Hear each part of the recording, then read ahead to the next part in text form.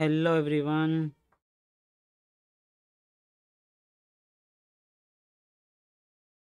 hello hello hello hello yes we are live now hello Akanksha hi sir I am waiting sorry yes I am live now yes yes आ गया मैं आ गया। Good evening good evening everyone hello Chetan Poonam Anusha good evening Yug hello hello hello everyone आ गए सब लोग? Yes चलिए, बहुत सारे जन आ चुके हैं। चलो रे भैया, आ जाओ। Yes hello Sania. यस चलो नोटिफिकेशन भी आ गई मुझे। हाँ तो भैया लास्ट कुछ चैप्टर्स बचे हैं। अब ये चैप्टर के बाद जो बाकी के दो चैप्टर्स है, वो तो बहुत ही ईजी है और बचा सेमीकंडक्टर ठीक है? दोनों लेक्चर्स तीनों चैप्टर्स डिटेल में हो चुके हैं। पहले दो चैप्टर्स आपको अन अकेडमी के ऐप पर मिल जाएँगे, जिसकी भी लिंक मैं शेयर कर दूँगा फ्री ऑफ़ कॉस्ट आप लोग जाके देख सकते हो। डुअल नेचर और स्ट्रक्चर ऑफ़ एटम का। और जो तीसरा वो यूट्यूब पे अवेलेबल है, आप लोग टाइप करोगे सेमीकंडक्टर बाय अजय पटेल तो आपको मिल जाएगा, ठीक है? All the best PCB hello hello hello बहुत जल्दी चालू हो गया आशीष। थोड़ा सा काम में बिज़ी है, इसलिए कुछ कर नहीं पा रहा हूँ मैं। ठीक है रिकॉर्डिंग नहीं हो पा रही है।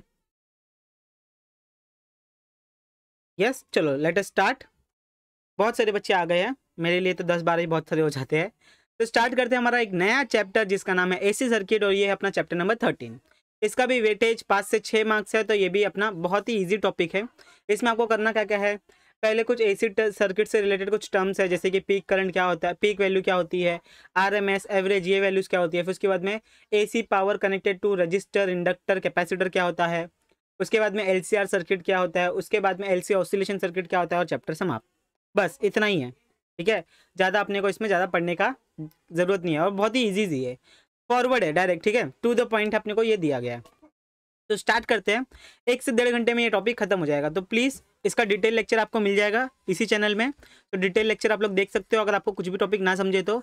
अपन थोड़ा सा फास्ट चलेंगे। तो चलो फटाफट स्टार्ट करते हैं। तो सबसे पहली बात यहाँ पर आ गया अपना इंट्रोडक्शन इंट्रोडक्शन में हमें बताया गया है कि what is AC and what is DC what is AC and what is DC AC मतलब अल्टरनेटिंग करंट डीसी मतलब डायरेक्ट डायरेक्ट में फ्रीक्वेंसी कुछ नहीं होती है एसी में फ्रीक्वेंसी होती है.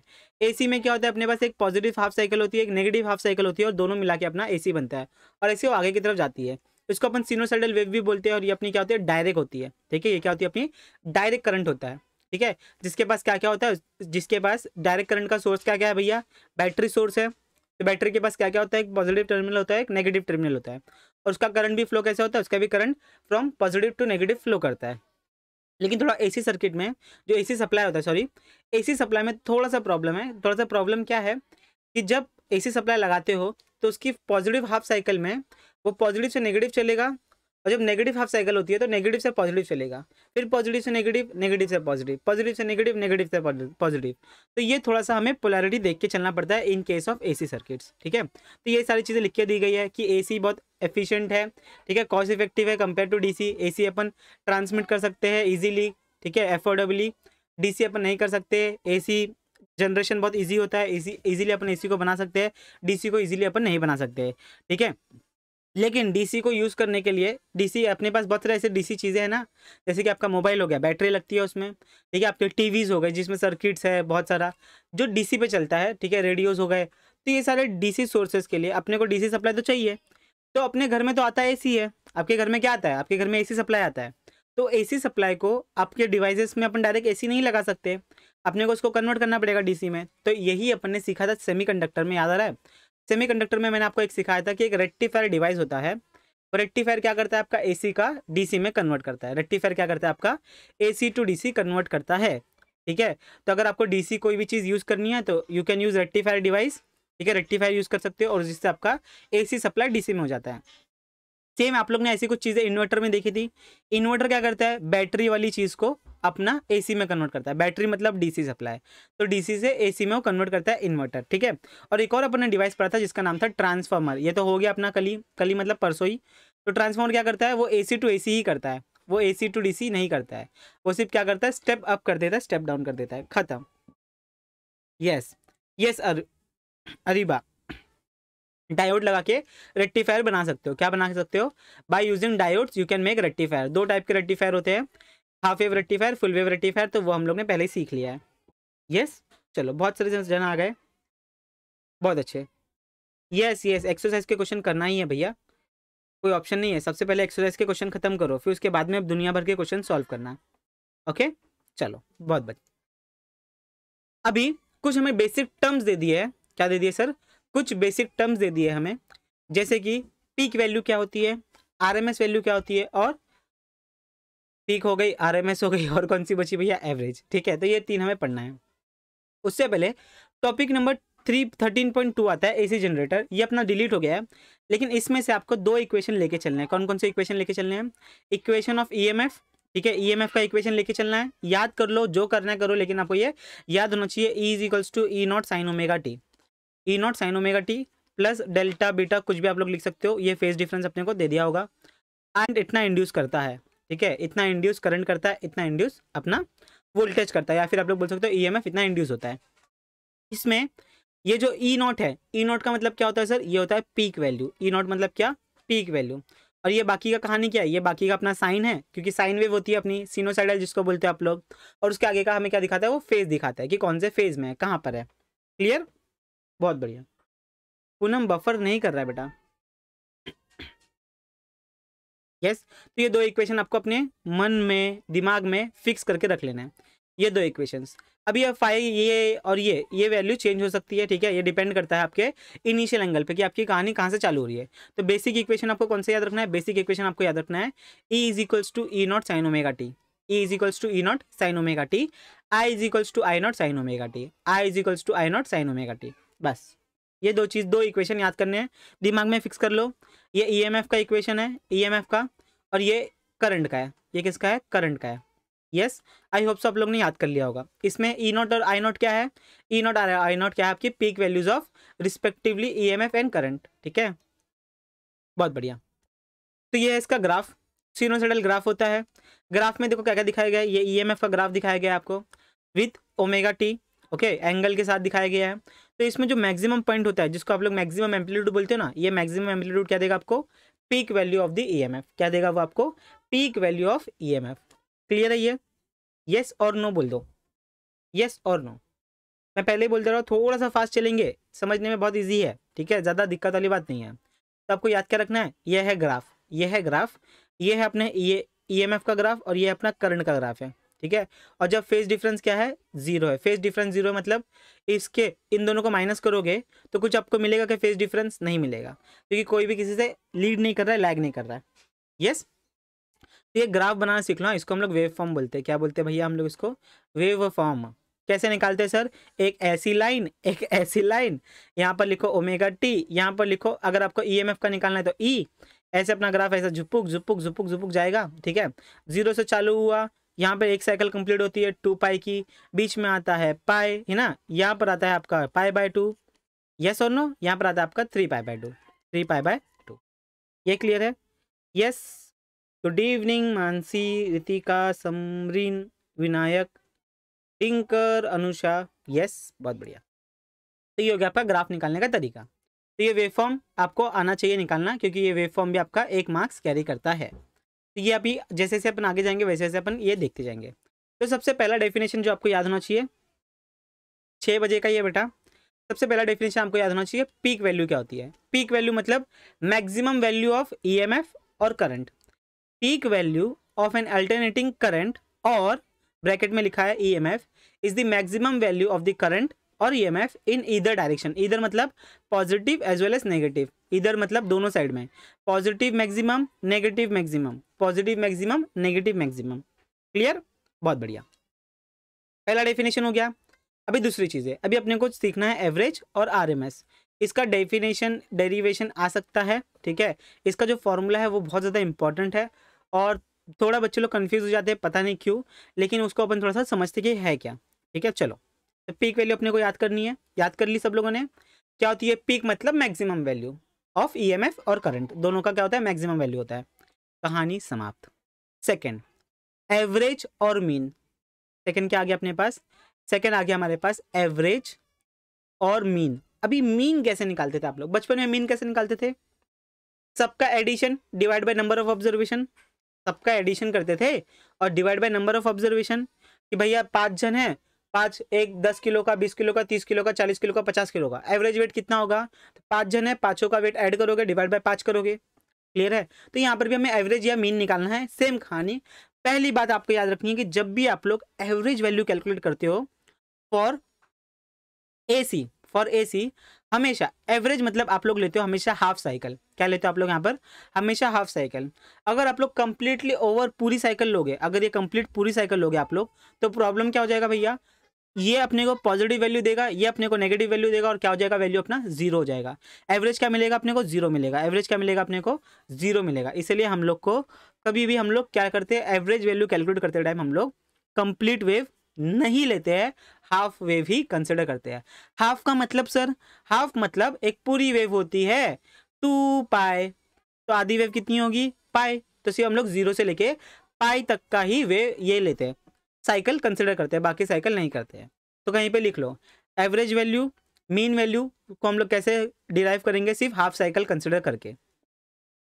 फॉर्मूला क्या है सर? फॉर्मूला देखो, ये है यहाँ पर, two pi upon I naught. Two pi upon sorry, two upon pi into I naught. Sorry गलत बोल दिया मैंने फॉर्मूला। टू अपॉन पाए आई नॉट। अभी इसका वैल्यू आप लोग कैलकुलेट कर सकते हो। इसका वैल्यू आएगा आपका, अगर आप लोग कैलकुलेट करोगे तो zero point six three seven I naught. और इसका भी वैल्यू कैलकुलेट करोगे तो क्या आएगा भैया? इसको मैं सीधा यहाँ पर दिखा दूँ। Zero point six three seven E naught. तो ये आपको फॉर्मूला याद होना चाहिए। ये एवरेज करंट या फिर एवरेज ईएमएफ का फॉर्मूला है।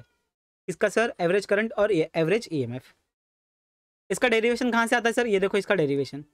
ये इसका डेरिवेशन। कहानी यहाँ से चालू होती है। हमें अरे करंट का इक्वेशन हमें पता है सर। हाँ सर, पता है करंट का इक्वेशन। अभी हमें निकालना क्या है सर? Average current. तो क्या कर दिया एवरेज के लिए? ऊपर भी इंटीग्रेशन सबको ऐड करना पड़ेगा ना तो इंटीग्रेशन क्या करता है? सबको ऐड ही तो करता है। इंटीग्रेशन का मतलब क्या होता है? सबको ऐड करना। छोटे, छोटा छोटा छोटा ऐड करना। तो इंटीग्रेशन कहाँ से, कहाँ तक? ज़ीरो से लेके पाए तक। अभी कितने डिविजन होंगे? कितने एंगल में? देखो, यहाँ पर एंगल कुछ और होगा, यहाँ पर कुछ और एंगल होगा, यहाँ पर कुछ और एंगल होगा, यहाँ पर कुछ और एंगल होगा। तो भैया डिवाइड बाय क्या करोगे? डिवाइड बाय डी थीटा करोगे। अभी यहाँ पर अपने को क्या करना है? ये अपना यहाँ पर अगर इसकी जगह पे आप लोग ये भी लिख सकते हो, एक स्टेप बढ़ा सकते हो। इसकी जगह पे आप लोग लिख सकते हो, यहाँ पर डी थीटा लिखना भूल गया मैं सॉरी यहाँ पर आप लोग आई डी थीटा भी लिख सकते हो, ठीक है? लेकिन यहाँ पर डायरेक्ट अपने इक्वेशन लिख लिया तो ये अपना पहला इक्वेशन इसको मैंने यहाँ पर पुट कर दिया, इसको मैंने यहाँ पर पुट कर दिया। तो ये हो गया कहानी। अब इसमें से कॉन्स्टेंट वैल्यू निकालो भैया। कॉन्स्टेंट वैल्यू क्या क्या आएगा बाहर? आई नोट आ गया बाहर। नीचे का इंटीग्रेशन क्या आएगा सर इंटीग्रेशन डी थीटा क्या आ जाता है? थीटा आ जाता है। जैसे इंटीग्रेशन डी एक्स आ जाता है एक्स जैसे आता है इंटीग्रेशन डी वाई आ जाता है वाई वैसे ही अपना इंटीग्रेशन डी थीटा क्या आ जाता है? थीटा क्लियर बहुत बढ़िया सर बहुत अच्छे. तो ये अपनों ने सॉल्व कर लिया तो हमें यहाँ पर हमेशा नीचे क्या मिलेगा? हमें नीचे नीचे हमेशा पाई मिलेगा. नीचे क्या मिला? हमें पाई मिल गया. कहानी खत्म. अभी ऊपर आ जाओ. ऊपर कोई कहानी देखते हैं. Integration of sine minus cos integration of sine minus cos limits zero से लेके पाई तक. Upper limit minus lower limit रखो. सो अपर लिमिट रखा. माइनस साइन किसका? अपर माइनस लोअर का. अपर माइनस, लोअर का माइनस साइन और ये माइनस साइन इसका, ठीक है? कॉस के साथ वाला। दोनों को किया? तो कॉस पाए कितना आता है भैया? कितना आता है? बताओ कॉस पाए मतलब वन एटी माइनस वन तो ये माइनस वन और ये वन, ये माइनस, प्लस वन हो गया।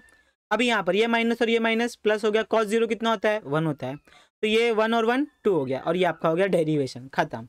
ये हो गया आपका डेरिवेशन ईजी ये डेरिवेशन पूछा गया है क्या सर पूछ सकते हैं बेटा। यू कैन स्कोर बहुत अच्छा मार्क्स भैया। यू कैन स्कोर बहुत अच्छा मार्क्स ठीक है? अभी से पढ़ो, दस दिन बाद से पढ़ो, बीस दिन बाद से पढ़ो, खाली बोर्ड एग्ज़ाम से पहले पढ़ना स्टार्ट कर देना। ठीक है? खाली बोर्ड एग्ज़ाम से पहले पढ़ना स्टार्ट कर देना, आपको मिल जाएगा। तो ये है आपका डेरिवेशन बहुत ही आप लोग सॉल्व कर सकते हो। बस यहाँ पर एक पॉइंट डी थीटा डाल देना। ओके ये डेरिवेशन है। ठीक है? डेरिवेशन है तो करंट एवरेज और ये आप लोग कैलकुलेट कर सकते हो। ये आप लोग कैलकुलेट कर सकते हो। कहानी समझ में आ गई? तो ये पहला डेरिवेशन हो गया अपना। Next root mean square value तो रूट मीन स्क्वायर वैल्यू निकालते हैं अपन। देखो फुल फॉर्म क्या है? R M S full form क्या है? रूट मीन स्क्वायर मतलब यहाँ पर स्क्वायरिंग भी करना है रूट भी लेना है। ठीक है? किसका? मीन का। तो आ जाओ, यहाँ पर वही करते हैं अपन। तो सबसे पहला ये है अपना फॉर्मूला ठीक है, जो हमें डिराइव करना है। ये फॉर्मूला है one upon root two one upon root two into I naught one upon root two into E naught ये अपना फॉर्मूला है I R M S V R M S find out करने का E R M S sorry E R M S find out करने का formula basic formula याद करना है अपने को। अब इसका डेरिवेशन करते हैं। इसका डेरिवेशन भी बड़ा ईजी है।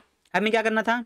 हमारे पास एक ही इक्वेशन है। We know that we know that I is equals to I naught sine omega T या फिर मैं यहाँ पर थीटा लिख देता हूँ। साइन थीटा ओमेगा डी को मैं साइन थीटा लिख सकता हूँ। बहुत बढ़िया सर ये तो अपने को मिल गया सर और आगे सर आगे क्या कर सकते हैं? अच्छा सर हमें क्या करना है? पहले स्क्वायर कर लेते हैं। स्क्वायर और रूट पहले स्क्वायर कर लिया। ओके सर अभी यहाँ पर पहली बात, आपके पास दो ऑप्शन है। आपके पास दो ऑप्शन है। पहला ऑप्शन आप लोग एक तो आधी वेव कंसिडर कर सकते हो। दूसरा, पूरी वेव कंसिडर कर सकते हो। दोनों किया तो भी आपको राइट आंसर मिलेगा, ठीक है? तो यहाँ पर आपके टेक्स्ट बुक में कंप्लीट वेव लिया है, इसलिए यहाँ पर आपको डेरिवेशन भी मैंने कंप्लीट वेव वाला लेके दिया है। क्या लेके दिया है? कंप्लीट वेव वाला। फिर से मैं बोल रहा हूँ, कहीं ऐसा रूल नहीं है कि कंप्लीट वेव लेके ही करना है, कि कंप्लीट वेव नहीं लोगे तो आंसर नहीं आएगा, ऐसा कहीं नहीं लिखा है। तो आप लोग हाफ़ वेव भी लेके कर सकते हो, खाली ज़ीरो से लेके पाई तक कर देना, या फिर पूरी वेव लेके भी कर सकते हो। लेकिन अपन ज़्यादा छेड़खानी नहीं करेंगे, अपने को ऑलरेडी दिया है। तो फटाक से अपन क्या करेंगे? इसको लेंगे। अनब्लॉक कर दो। कहाँ से अनब्लॉक कर दूँ? है तो तू अनब्लॉक ही। कहाँ पर ब्लॉक है? थैंक यू रौनक यस आज तूने बहुत परेशान किया, कल मैंने सुना। हाँ ब्रह्मानंद। काहे तुम ऐसा करता है भैया? ऐसा नहीं करने का रे। चुपचाप लेक्चर सुनो ना। काहे तुम लोग मस्ती मज़ाक करते रहते हो? Yes yes yes amazing video we will try तो वही कहानी। करंट ले लिया इंटीग्रेशन किया, नीचे एंगल एंगल नीचे सॉल्व करोगे तो क्या मिलेगा हमेशा? टू पाए वहाँ पर अपन ने पाई लिया था। यहाँ पर क्या है लिमिट ज़ीरो से लेके टू पाए तो यहाँ पर आ जाएगा नीचे टू पाए ऊपर कहानी देखते हैं। अब यहाँ पर हमें स्क्वायर करना है। इसका स्क्वायर है इसका स्क्वायर है। तो स्क्वायर करना है तो इसका स्क्वायरिंग अपन लिख दिया। यहाँ पर इसका स्क्वायरिंग लिख दिया। बहुत बढ़िया सर अरे स्क्वायरिंग लिख दिया। अभी क्या कर सकते हैं सर पहली चीज़। इसको कॉमन निकाल लिया, बाहर रख दिया। ओके सर ठीक है, ये ठीक हो गया। बचा क्या? Integration sine square theta D theta तो हमारे पास एक फॉर्मूला है ट्रिग्नोमेट्री का। Sine square theta is equals to one minus cos two theta upon two क्या है फॉर्मूला ये फॉर्मूला है अपना one minus cos two theta upon two तो ये अपना फॉर्मूला हम लोग ने यहाँ पर उठा के रख देंगे। देखो, यहाँ पर उठा के रख दिया मैंने। ये अपना कहानी आया। तो मैंने नीचे वाला साइड में ले लिया टू पाई नीचे वाला साइड में ले लिया मैंने, ठीक है? बचा ये इंटीग्रेशन इस इंटीग्रेशन को सॉल्व करने के लिए मैंने पहले पुट कर दिया one minus cos two theta upon two फिर बाद में वन अपॉन टू ये टू को मैंने बाहर निकाल लिया, बचा क्या? One minus cos two theta integration of one D theta क्या आएगा आपको? थीटा आएगा. इंटीग्रेशन ऑफ़ कॉस ये माइनस एन आ गया. Integration of cos two theta D theta क्या आ जाएगा? Sine two theta upon two ये हो गया कहानी। और लिमिट अपने को पता है, कहाँ से कहाँ लिमिट है? ज़ीरो से लेकर टू पाए। अब ये वैल्यू उठा उठा के यहाँ पर रखो। एंगल जहाँ जहाँ थीटा है, वहाँ वहाँ अपर लिमिट और लोअर लिमिट रखोगे। तो यहाँ पर मैंने लोअर लिमिट दिखाया नहीं है। यहाँ पर आप लोग को मैंने लोअर लिमिट दिखाया नहीं था, लेकिन आप लोग लोअर लिमिट भी रखोगे तो क्या आएगा? Zero minus sine two zero upon two तो ये सब क्या मिलेगा आपको? ज़ीरो मिलेगा। तो खाली मैंने अपर लिमिट दिखाया आपको। खाली मैंने आपको अपर लिमिट दिखाया है। अच्छा सर ठीक है। अभी यहाँ पर देखो, ये जब आप लोग करोगे तो टू थीटा थीटा के जगह पे टू पाई रखोगे तो क्या आ जाएगा? फोर थी फोर पाई आ जाएगा। अभी बताओ मुझे, sine two pi sine two pi कितना होता है? Sine three sixty zero, three sixty zero तो साइन फोर पाई क्या होगा? Sorry, sine four pi zero ही होगा। तो ये देखो, यहाँ पर ज़ीरो लिख दिया मैंने। क्लियर? तो ये कट गया बच्चा क्या अपने पास? I naught square upon four pi into two pi तो पाई से पाई मारा टू वन जा टू टू जा। तो यहाँ पर ये आ गया। इतना हो गया क्या, सर? अभी खत्म हुआ क्या? नहीं हुआ। अभी हम लोग करेंगे? आई आर एम एस तो रूट मीन स्क्वायर वैल्यू तो यहाँ से स्क्वायर स्क्वायर हटा दिया तो क्या बचेगा अपने पास? I R M S is equals to I naught upon root two ये हो गया अपना डेरिवेशन ये हो गया अपना डेरिवेशन अरे अनुषा, क्या बोलूँ मैं तुझे? बराबर तो आंसर दे रही है। यस परफेक्ट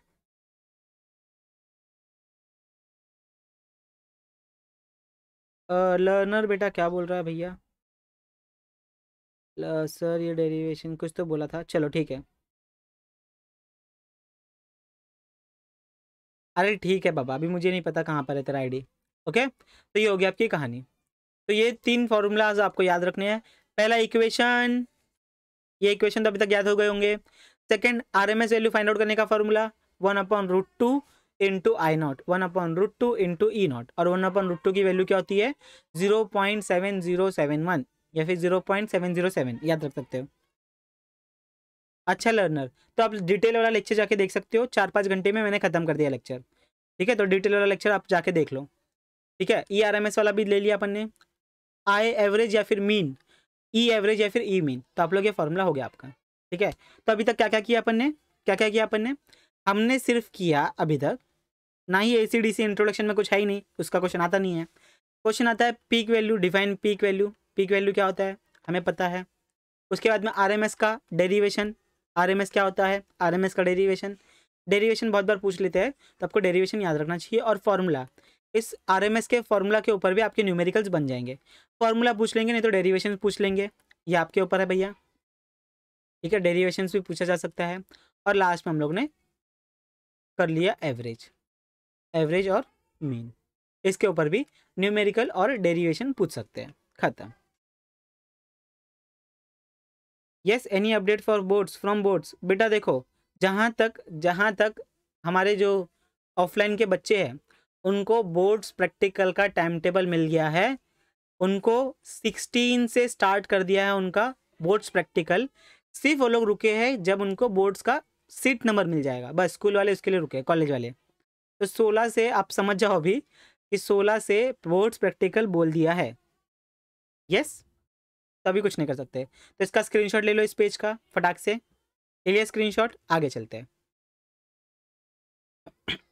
नेक्स्ट आ गया फेजर ना व्हाट इज़ फेजर तो इसका दो चीज़ें आती है। एक तो फेजर डायग्राम आगे जब आप लोग पढ़ोगे phasor diagram for R L C R L C तीनों और R L C equal individual उनका फेजर डायग्राम बनाने बोलता है या फिर define phasor so what is phasor phasor is nothing phasor is nothing क्या है मैं बताता हूँ। A rotating vector that represent a quantity varying sinusoidal with time is called as phasor and the diagram which is representing this phasor is called as phasor diagram. खत्म। Okay Anusha, देखो, अभी कुछ नहीं कर सकते बेटा सब डाइसी है देखो, इसीलिए हम लोग कोई भी अपडेट नहीं दे रहे था क्योंकि बहुत बच्चे बहुत बच्चे, अभी अगर हम लोग ने अपडेट का वीडियो डाल दिया ना अपडेट का वीडियो तो उसमें मस्त तीस हज़ार, चालीस हज़ार व्यूज़ आएँगे, ठीक है? और ये जो डेली लेक्चर लेते हैं, उसमें आपको पता ही है, एक हज़ार व्यू दो हज़ार व्यू आते हैं। अगर हमें व्यूज़ यूज़ करना होता, बच्चे अगर लेने होते तो हम लोग न्यूज़ पे न्यूज़ डालते डालते डालते। लेकिन कुछ भी कंफर्म न्यूज़ नहीं है। कंफर्म न्यूज़ कुछ भी नहीं है। कुछ भी नहीं अपडेट है। सब हवाबाजी है। सब हवे में चल रहा है। ठीक है? सब लोग एक ही चीज़ बोल रहे हैं। पढ़ते रहो। पढ़ते रहो। सब लोग लास्ट तक अगर आप लोग वीडियो देखते हो, किसी भी टीचर का तो सब टीचर्स बोलते हैं, पढ़ते रहो। आपको हार्ट अटैक ना मिल जाए बोर्ड्स टाइम पे ना हो जाए। इसलिए कोई भी न्यूज़ चैनल मत देखो, कुछ भी मत देखो। लेकिन बच्चे लोग हैं भैया, थोड़ा सा एनजाइटी है तो वो न्यूज़ ही देखते रहते हैं। तो भैया, थोड़ा सा न्यूज़ ही देखना कम करो, पढ़ाई करना स्टार्ट रखो। कुछ भी होगा कन्फर्म न्यूज़ आएगा तो आपको मिलेगा। अगर आपको ऐसे टेंटेटिव न्यूज़ चाहिए तो बता देना ये भी, मैं पोल डाल दूँगा। कि आपको टेंटेटिव न्यूज़ चाहिए क्या? रिगार्डिंग बोर्ड्स प्रीलियम्स हमारी वर्षा गायकवाड़ मैडम क्या सोचते हैं? ठीक है? हमारे न्यूज़ रिपोर्टर्स क्या सोचते हैं? तो ऐसे इस चैनल पे चार चार पाँच पाँच वीडियो हर दो दो घंटे में मैं डाल सकता हूँ, ठीक है? एक मिनट का वीडियो बनाने में कोई दिक्कत नहीं होगी, ठीक है? और व्यूज़ भी बहुत ज़्यादा आएँगे, बहुत सारे बच्चे भी आएँगे तो आप लोग बता दो, अगर डालना हो तो बता दो। अरे हाँ और क्या चाहिए यार? कॉलेज ही सेंटर है, खुद का कॉलेज सेंटर है सेल्फ सेंटर बोल दिया है, और क्या चाहिए भैया लाइफ में? यस तो बता देना, अगर आपको अपडेट चाहिए तो। अगर आपको अपडेट चाहिए तो।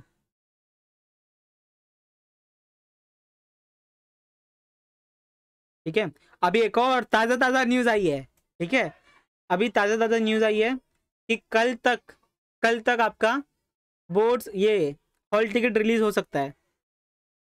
यस ताज़ा ताज़ा खबर आई है, कल तक टुमारो हॉल टिकट रिलीज़ हो जाएगी।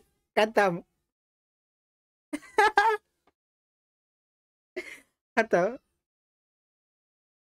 ऑल द वेरी बेस्ट बेटा लोग, बहुत अच्छे से आप लोग पढ़ाई करो, ठीक है?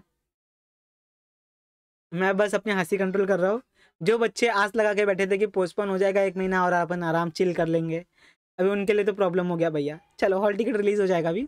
तो भैया डेफिनेशन है कि ऐसी क्वांटिटी ऐसा डायग्राम जो रिप्रेजेंट करता है अपनी वेरिंग सिनोसाइडल ठीक है?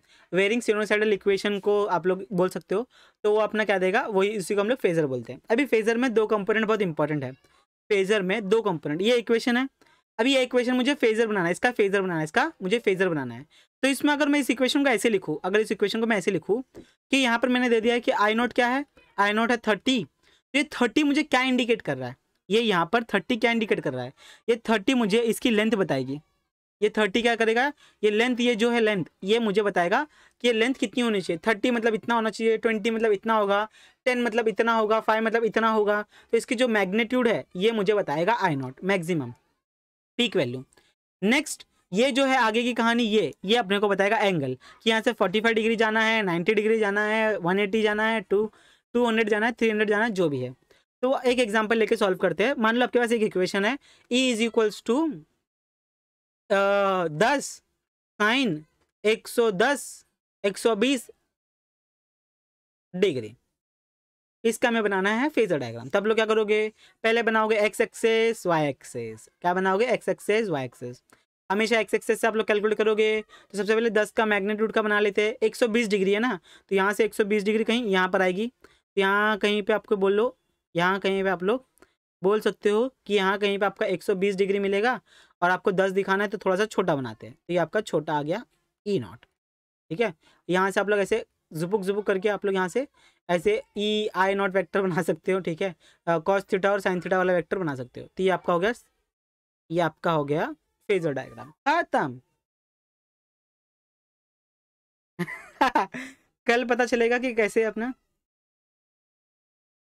यस अरे मैं फिर से देखो रुक जाओ, ये लेक्चर होने के बाद में अपडेट आ जाएगा। ठीक है, ये लेक्चर होने के दस मिनट के अंदर मैं अपना ऐसा वीडियो बना के रख दूँगा कि बहुत जल्दी हॉल टिकट आने वाली है बच्चों be ready for the examination yes आपके आगे कौन बैठने वाला है, आपके पीछे कौन बैठने वाला है, सब पता चल जाएगा। आगे टॉपर रहेगा तो हम टॉप कर लेंगे, पीछे टॉपर रहेगा तो हम तो भी टॉप कर लेंगे। ठीक है, बस हमें फ़र्स्ट बेंच ना मिले लास्ट बेंच मिल जाए। तो ऐसे आप लोग कर सकते हो। फेजर डायग्राम अलग है वेव फॉर्म अलग है, ठीक है? फेजर डायग्राम में आप लोग क्वांटिटी सब ये रिप्रेजेंट करते हो वेव फॉर्म में आप लोग सिर्फ़ सिनोसाइडल वेव के थ्रू आप लोग रिप्रेजेंट करते हो। Yes yes? कितना आगे है, कितना पीछे है? Thank you Raunak thank you तो ये देखो, ये तरीका है निकालने का।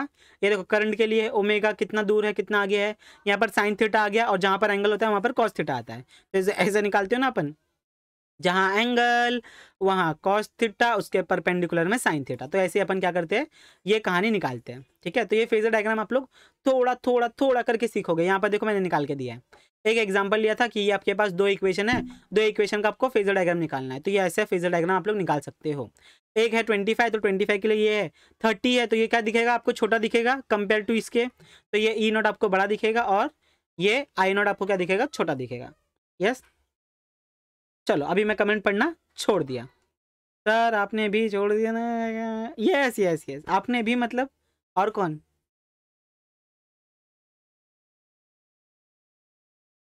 यस अभी अपने टेक्निक्स बना लो स्टैटिक्स बना लो, ठीक है? कितनी कॉपी कितनी चिट्स लेके जानी है, कितनी मोटी, कितनी स्मॉल साइज़ करनी है, आपको कितना छोटा दिख सकता है, ठीक है? लिफाफे बना लो।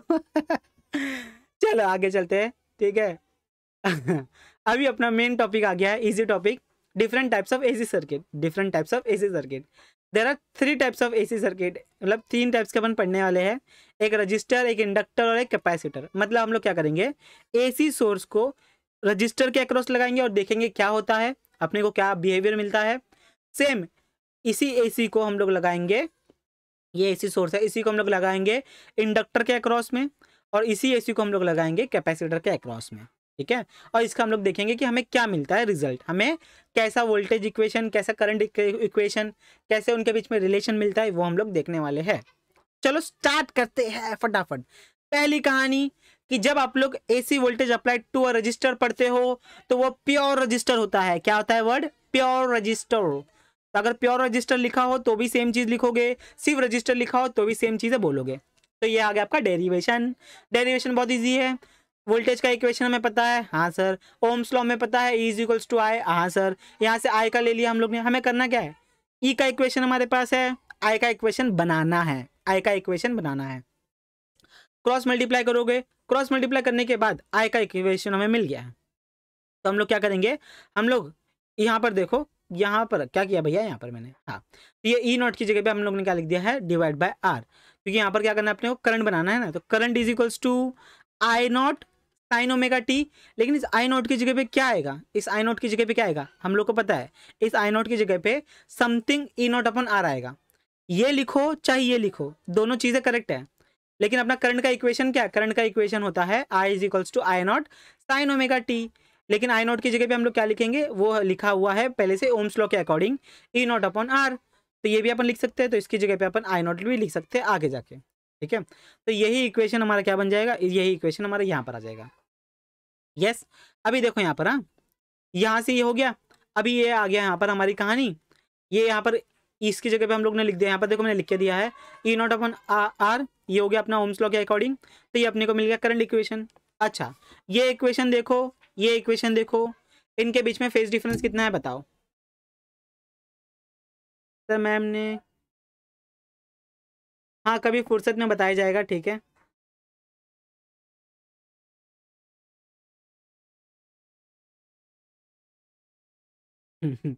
श्रद्धा कितना झूठ बोलती है। आती थी लेक्चर में वो भी, ठीक है, चलो। तो ये हो गया। डिफरेंस कितना है? फेस डिफरेंस तो आपके दिमाग में पहला क्लिक होना चाहिए। सर देखो, इसमें भी E sine omega T I sine omega T आगे कुछ एंगल है क्या? इसमें भी प्लस ज़ीरो है, इसमें भी प्लस ज़ीरो है। तो इनके बीच में कुछ डिफरेंस है क्या? नहीं है। तो आप लोग क्या लिखोगे? E and I are in phase क्या है वो? इन फ़ेज़ में है। मतलब उनके बीच का फ़ेज़ डिफरेंस कितना है? ज़ीरो है। कितना है? ज़ीरो है। तो ज़ीरो कैसे दिखाते हो? ई e भी वैसा आई भी वैसा। तो ये आपका हो गया वेव फॉर्म ये हो गया आपका wave form circuit diagram is very important circuit diagram is very important अभी ये आपका आ गया फेजर डायग्राम ये क्या है आपका? ये है आपका फेजर डायग्राम ठीक है?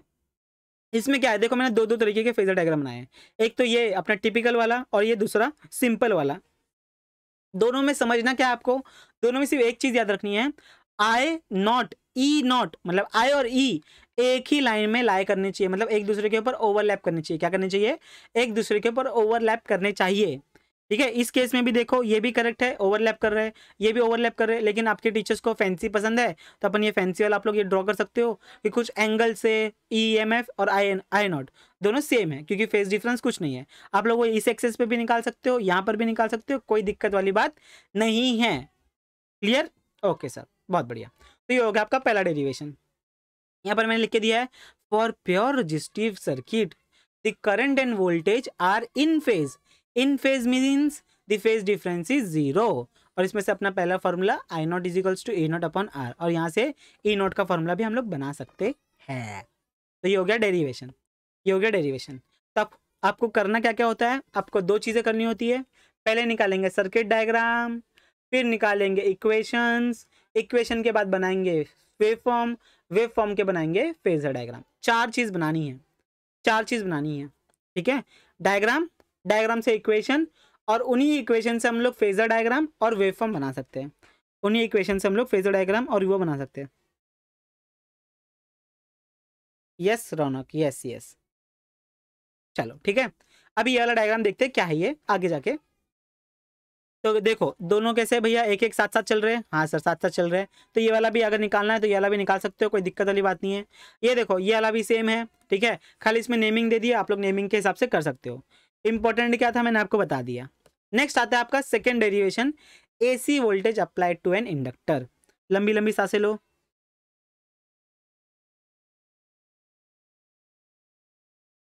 क्या लगा है सर? एक इंडक्टर लगाया है और एक सोर्स लगाया कौन सा सोर्स लगाया एसी सर्किट का सोर्स, एसी सप्लाई का सोर्स लगाया तो इसको इजी रखने के लिए, अगर आप लोग अपना टेक्स्ट बुक वाला करते हो तो भी ठीक है। अगर आप लोग मेरा वाला करते हो तो भी ठीक है। कोई भी रॉन्ग नहीं है। आपके टेक्स्ट बुक वाले में इंटीग्रेशन यूज़ करके सॉल्व किया गया है, लेकिन मुझे इंटीग्रेशन सॉल्व करने नहीं है, क्योंकि बहुत बच्चों को इंटीग्रेशन नहीं आता है तो मैं यहाँ पर डिफ्रेंसिएशन यूज़ करके भी आंसर निकाल सकता हूँ। यस सर वो दूसरी होगी। मैंने एक बार ही लेक्चर ही में ही आई थी। अभी देखा मैंने सच बोल रही हूँ अंजलि मैम को भी पूछ सकते हो आप। अरे ठीक है रे बाबा ठीक है ना। फ़ायदा दोनों जगह पे था तो फ्री ना। टेंशन क्यों ले रहे हो? टेंशन क्यों लेने का? था तो फ्री ना। मानते थोड़ा सा टाइम वेस्ट होता था लेकिन ठीक है। अभी इसके बारे में अपन कुछ नहीं बोलेंगे।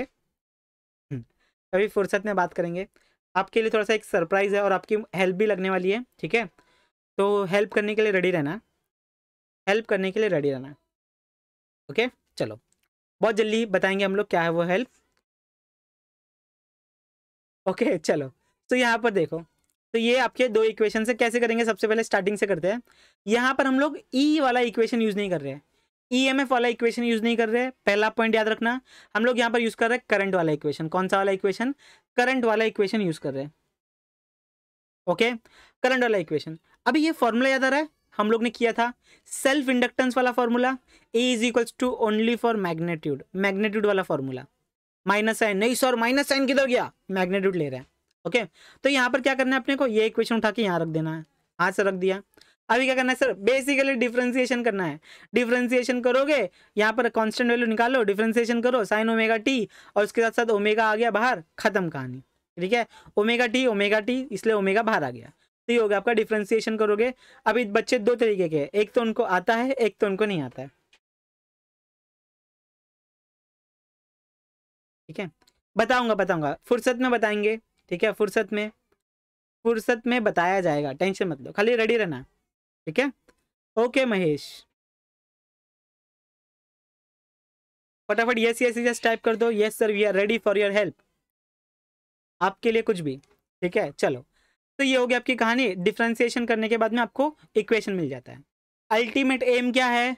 Current equation voltage equation current equation voltage equation voltage बोलो चाहे ईएमएफ e बोलो। वोल्टेज बोलो चाहे ईएमएफ e बोलो। Yes yes? बहुत बढ़िया। थैंक यू बहुत अच्छे? चलो। आगे चलते हैं। अभी बस प्रॉब्लम क्या पता है? करंट का इक्वेशन मिल गया, वोल्टेज का इक्वेशन मिल गया। खाली प्रॉब्लम है कि जो ये वोल्टेज या फिर ईएमएफ का इक्वेशन है, ये कॉस में है। इसमें सर कॉस में है। तो सबको कॉस थीटा कन्वर्ट करने आता है साइन में। कैसे करते हो साइन में कन्वर्ट साइन में। सिर्फ़ क्या कर देते हो? प्लस पाई बाय टू क्या कर देते हो? प्लस पाई बाय टू तो यहाँ पर ओमेगा टी है तो ओमेगा टी लिख लेना, ठीक है? क्या कर देते हो? सिर्फ़ एडिशन कर देते हो पाई बाय टू का। क्या कर देते हो? एडिशन कर देते हो पाई बाय टू का। यस बहुत बढ़िया। तो यहाँ पर एडिशन कर दो पाई बाई टू का। तो ये क्या बन गया? साइन बन गया। क्या बन गया ये? साइन बन गया। ये भी साइन ये भी साइन अभी बताओ, ये दोनों इक्वेशन मुझे मिल गए। अभी इस केस में यहाँ पर सबसे पहली चीज़, जब यहाँ से कन्वर्ट किया तो यहाँ पर ये कुछ टर्म्स है। ओमेगा एल आई नॉट इसकी जगह पे मैंने लिखा ई e नॉट क्या लिखा? ई e नॉट तो यहाँ पर मैंने लिख के दे दिया है। यहाँ पर ई e नॉट लिख के दे दिया है। जहाँ पर ओमेगा एल ओमेगा एल क्या होता है सर ओमेगा एल को हम लोग बोलते हैं inductive reactance which is denoted by X L X L inductive reactance जैसे एक वायर में करंट को रोकने वाला रेजिस्टेंस होता है, वैसे ही इंडक्टर भी करंट को अपोज करता है। और जो अपोजिशन है, उसको हम लोग रेजिस्टेंस नहीं बोलते उसको हम लोग क्या बोलते हैं? उसको हम लोग बोलते हैं इंडक्टिव रिएक्टेंस क्योंकि वो इंडक्टर की वजह से आ रहा है। किसकी वजह से आ रहा है? इंडक्टर की वजह से आ रहा है, इसलिए उसको हम लोग क्या बोलते हैं? इंडक्टिव रिएक्टेंस बोलते हैं। यूनिट क्या है? ओम सी यूनिट है उसकी। तो एक्सेल का फॉर्मूला याद कर लेना। X L is what X L is equals to omega L X L is equals to omega L पहला फॉर्मूला ठीक है? तो यहाँ पर ये फॉर्मूला हम लोग लिख सकते हैं। तो ये अपना ये फॉर्मूला हो गया। इंडक्टिव रिएक्टेंस याद रखना। तो ये अपना खाली हो गया। अभी करंट का इक्वेशन देखो वोल्टेज का इक्वेशन देखो सर करंट का इक्वेशन देखो वोल्टेज का इक्वेशन देखो। बताओ फ़ेज़ डिफरेंस कितना है? तो आके खोल के देखो मन की आँखों से देखो। तो यहाँ पर दिखेगा। सर ई e, दोनों को अगर माइनस करूँ तो ये प्लस नाइन्टी डिग्री है। क्या ये प्लस नाइन्टी डिग्री मतलब ई e क्या कर रहा है? ई e लीड कर रहा है। ई क्या कर रहा है? लीड कर रहा है करंट से बाय नाइन्टी डिग्री ई क्या कर रहा है? आगे है। E leads current by 90 degree तो यहाँ पर मैंने ये शॉर्ट फॉर्म शॉर्टकट शॉर्टकट याद करने के लिए मैंने यहाँ पर लिख दिया है इल। इल मतलब क्या सर इल मतलब क्या? In case of inductor EMF leads current EMF leads current पहला है जो, वो लीड करता है, जो दूसरा है, वो लैक करता है। पहला जो है, वो लीड करता है, ये लीड करेगा, दूसरा लैक करेगा। ये क्या अपना? Inductor. In case of inductor.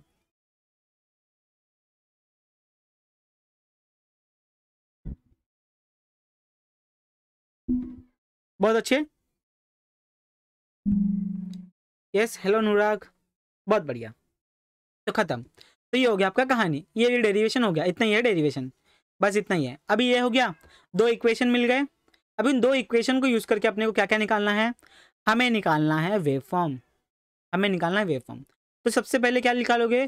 Current से 90 डिग्री लीड कर रहा है आपका। क्या सर वोल्टेज तो ये बेसिक है। ये बेसिक फेजर डायग्राम है। बेसिक फेजर डायग्राम ठीक है? और ये आपका आपके बुक वाला एडवांस ये आपके बुक वाला एडवांस है कि कुछ फ्रॉम फ्रॉम विसम एंगल ये जो करंट है आपका आए ये ऊपर की तरफ़ है और इससे 90 डिग्री आप लोग इसको ऐसे भी निकाल सकते हो कोई दिक्कत वाली बात नहीं होगी यहाँ यहाँ पर निकाला करंट आए और यहाँ से यहाँ पर आया ई e, दोनों के बीच में नाइन्टी डिग्री ठीक है? कोई भी दिक्कत नहीं होगा। कोई भी दिक्कत नहीं होगा। ओके? तो आप लोग ऐसे भी निकाल सकते हो। ज़रूरी नहीं है कि कुछ एंगल से ऊपर ही निकालो। ज़रूरी नहीं है। ठीक है? ये फैंसी दिखता है अच्छा दिखता है हाईफाई दिखता है, इसलिए आप लोग ऐसे निकाल सकते हैं।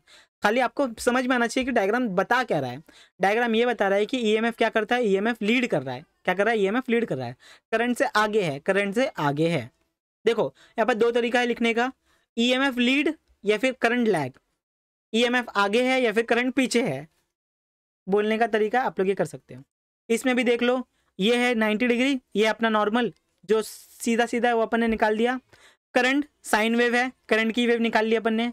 सबसे पहले क्या किया? करंट का वेव निकाल लिया, क्योंकि वो साइन थीटा है ना, ये करंट निकाल लिया। अभी वोल्टेज के इक्वेशन में क्या था? कॉस से चालू हो रहा था। कॉस की वेव कहाँ से चालू होती है? कॉस की वेव ऐसे चालू होती है। कॉस की वेव कैसे चालू होती है? ऐसे चालू होती है। तो ये आपका हो गया कहानी। ये हो गया आपका कहानी। यस बहुत बढ़िया। बहुत अच्छे। तो ये आप लोग अपना टेक्स्ट बुक वाला कर सकते हो, जो करना करो। ठीक है? आपका बहुत इंपॉर्टेंट फॉर्मूला यहाँ पर देखो। नीचे से चालू करोगे तो भी चलेगा, ऊपर से चालू करोगे तो भी चलेगा। करंट लैग कर रहा है, मैंने लिखने का तरीका बताया ना आपको। ई लीड्स करंट या फिर आई लैग ई तो आई को क्या दिखाना है? कम दिखाना है अपने को तो कम ही दिख रहा है। क्लियर और ये इसका फेजर डायग्राम है। देख लो कंपैरिजन देख लो। आप लोग इसके ऊपर निकालो, ऐसे यहाँ पर निकालो आए, यहाँ पर निकालो आए, और ऐसे ऐसे दिखाओ आप लोग, ठीक है? या फिर यहाँ पे निकालो आए, और इसके बीच में नाइन्टी ये नाइन्टी डिग्री दिखना इंपॉर्टेंट है, ये नाइन्टी डिग्री दिखना इंपॉर्टेंट है, ठीक है? करंट से ईएमएफ क्या कर रहा है? लीड कर रहा है नाइन्टी डिग्री ये दिखाना इंपॉर्टेंट है, ये दिखाना आपका कहानी है इंपॉर्टेंट चीज़ है ओके तो ये हो गया आपकी कहानी, ठीक है? Capacitive reactance the opposing nature of inductor to the flow of alternating current is called as inductive reactance यह डेफिनेशन ये आपका डिफाइन है। रिएक्टिव इंडक्टिव रिएक्टेंस का डेफिनेशन है कि जो अपोजिंग नेचर है इंडक्टर का, जो करंट को अपोज करता है, उसी को हम लोग रिएक्टेंस बोलते हैं। बहुत ही सिंपल भाषा में मैंने आपको बता दिया। एक्सेल का फॉर्मूला क्या है? X L equals to omega L omega की जगह पे आप लोग टू पाई एफ़ लिख सकते हो, या फिर लिख सकते हो टू पाई अपॉन टी लिख सकते हो, कुछ भी लिख सकते हो। ये आपकी मर्ज़ी है। ये सारे फार्मूलाज का टाइप है। आपको सिर्फ़ ये एक मेन फार्मूला याद रखना है। ये मेन फार्मूला आपको याद रखना है। ओके चलिए नेक्स्ट आ गया आपके पास A C apply to a capacitor इसको सर कैपेसिटर को अप्लाई करेंगे। तो कैपेसिटर ए सी वोल्टेज तो ये हो गया आपका डायग्राम ये हो गया आपका डेरिवेशन ये हो गया आपका डेरिवेशन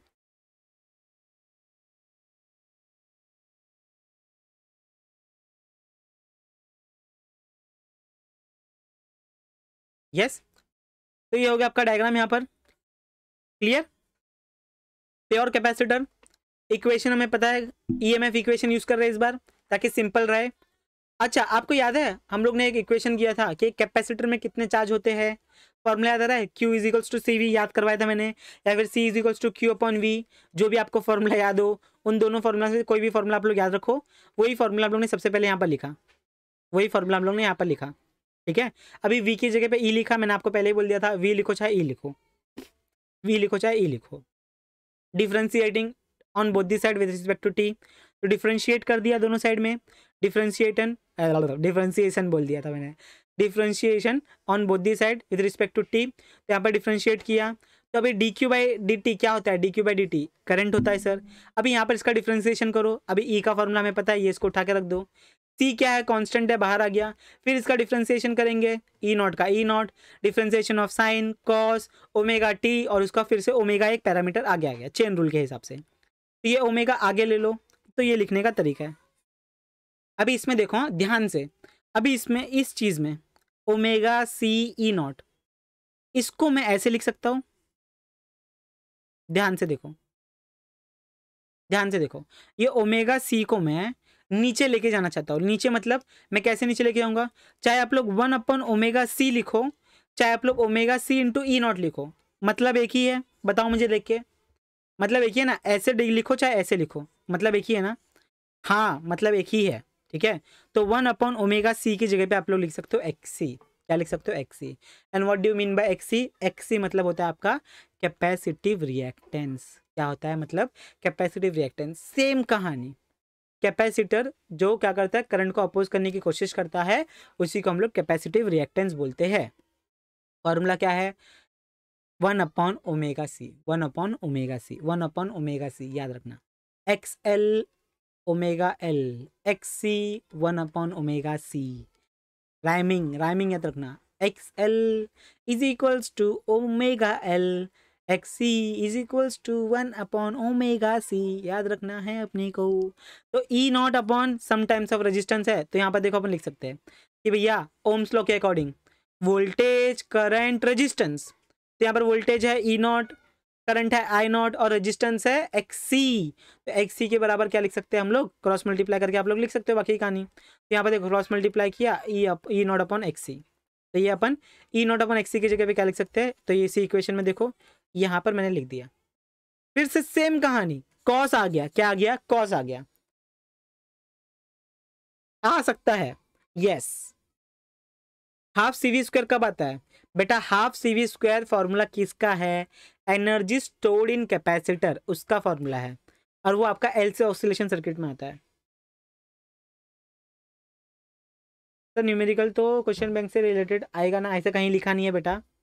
सर एंगुलर फ्रीक्वेंसी मतलब एंगुलर वेलोसिटी है क्या? नहीं, क्योंकि ओमेगा दिया है ना तो एंगुलर फ्रीक्वेंसी और हम angular velocity two pi F use कर रहे हैं। सेम नहीं है सेम नहीं है। एंगुलर वेलोसिटी अलग है एंगुलर वेलोसिटी ओमेगा अलग है। यहाँ पर ये ओमेगा इस चैप्टर में ओमेगा ओमेगा का मतलब है angular frequency two pi F है ना? Sorry angular velocity two pi F क्या लिखा है? मैं कन्फ्यूज़ हो गया क्या? नहीं, बराबर है। दोनों सेम नहीं है सबसे पहली बात। ठीक है? दोनों सेम नहीं है। पहली चीज़। क्लियर है? दोनों सेम नहीं है। यहाँ पर ओमेगा का मतलब है टू पाई एफ़ इतना याद रखना। यहाँ पर ओमेगा का मतलब है टू पाई एफ़ क्लियर हाँ या ना बोलो? हाँ या ना बोलो? एंगुलर वेलोसिटी नहीं है इस इस पिक्चर में, इस चैप्टर में। हमें सिर्फ़ इस चैप्टर में क्या रखना है? हमें इस चैप्टर में ओमेगा मतलब क्या है? टू पाई एफ़ रखना है।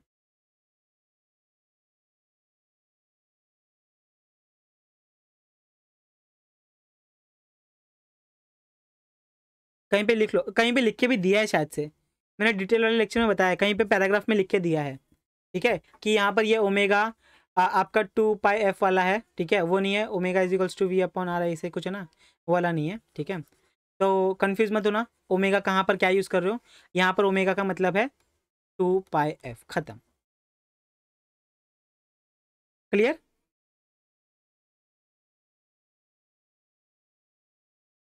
ठीक है?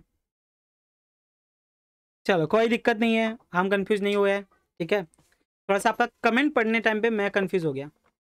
चलो, आगे चले। फिर से कॉस में है साइन में करना है तो दोनों इक्वेशन मिल गए अपने को। इक्वेशन मिल गए। वोल्टेज इक्वेशन, करंट इक्वेशन, दोनों इक्वेशन मिल गए तो क्या करोगे अभी? आपका अभी आपके ऊपर है। क्या करोगे? वेव फॉर्म बनाओगे। अब इसका भी शॉर्ट फॉर्म, शॉर्ट ट्रिक क्या है? आइस। शॉर्टकट क्या है? आइस। क्या याद रखोगे? आइस रखोगे। माई कमेंट ऋतिक का ऋतिक का बेटा, अभी नहीं बता सकता मैं आपको। बहुत जल्दी आएगा, पूरा डिटेल में सब कुछ बताया जाएगा। सब कुछ दिखाया जाएगा। बताया भी जाएगा, दिखाया भी जाएगा तो don't worry ice ice. In case of capacitor current leads EMF अभी देख लो, करंट लीड्स ईएमएफ बताओ। EMF E naught sine omega T current I naught sine omega T plus pi by two plus pi by two तो current क्या कर रहा है? Lead कर रहा है। Current leads the EMF by 90 degree और उल्टा अपन बोल सकते हैं कि EMF lags the current by 90 degree तो दोनों के बीच का फ़ेज़ डिफरेंस कितना हो गया? 90 डिग्री तो यहाँ पर देखो, ये वेव फॉर्म है। आप लोग ये वेव फॉर्म निकाल सकते हो अपने हिसाब से। ये देखो, आपके बुक में भी निकाल के दिए बहुत बढ़िया से। यस और ये आपका हो गया टिपिकल लेकिन इसमें आपको याद कर है कि करंट से लैग करता है तो नीचे आएगा। हमेशा क्या करेगा? नीचे आएगा, ठीक है? आप लोग ऐसे करंट को यहाँ पर रखो तो ये नीचे 90 डिग्री करंट को यहाँ रखोगे तो यहाँ पे 90 डिग्री निकालोगे आप लोग। हमेशा लैग करना है, नीचे नीचे लैग करना है, नीचे नीचे लैग करना है। ईएमएफ क्या करेगा? लैग करेगा हमेशा। तो देखो आई लीड कर रहा है और ई e लैग कर रहा है। ई e लैग कर रहा है। क्लियर है? बहुत बढ़िया, चलो, बहुत अच्छे। सेम यहाँ पर है instantaneous value of alternating current through a capacitor is given by अभी ये सब लोग तुम लोग निकाल लोगे तो ये अपना फॉर्मूला आ गया यहाँ पर। ठीक है? One upon X omega C ये फॉर्मूला इंपॉर्टेंट है। ठीक है? तो ये आपका कहानी आ गया। तो सारे फॉर्मूले मैंने लिख दे दिए। E is equals to I R E is equals to I X L E is equals to I X C ये इंडक्टर के केस में है, ये कैपेसिटर के केस में है, और ये रजिस्टर के केस में रजिस्टर के केस में। अभी आर फ्रीक्वेंसी के ऊपर डिपेंड नहीं करता एक्सेल एंड एक्सी फ्रीक्वेंसी के ऊपर डिपेंड करती है। क्या करती है? फ्रीक्वेंसी के ऊपर डिपेंड करती है। क्लियर चलो, बहुत बढ़िया। फॉर्मूला लिख के दे दूँ मैं फटाफट। ये इनफेज होता है। इसमें क्या होता है? इल होता है। इसमें आइज़ होता है। खत्म। देखो, ये ऐसा होता है। इसमें ई e लीड करता है तो आई और यहाँ पर आएगा ई e. इसमें क्या करता है? करंट लीड तो यहाँ पर आएगा ई e, यहाँ पर आ जाएगा आई 90 डिग्री 90 डिग्री खत्म. फेजर डायग्राम बन गया. अभी हम लोग ये तीनों को साथ में मिला देंगे. L C R L R C जो भी आप लोग सर्किट का नाम दो. कुछ कुछ L R C L C R R L C कुछ भी नाम आ जाएगा मतलब एक ही है चीज़ एक ही है. ठीक है? जब इसको हम लोग एक इसके साथ एसी सोर्स के साथ कनेक्ट करेंगे तो क्या होगा? तो क्या होगा? ये हमें बताना है। ठीक है? AC circuit containing all the all the elements inductor resistance capacitor तो क्या होगा? तो क्या होगा? कुछ नहीं होगा, सर। देखते क्या होगा? बहुत ही बढ़िया से। तीनों लगा दिया है। तीनों अपने को पता है।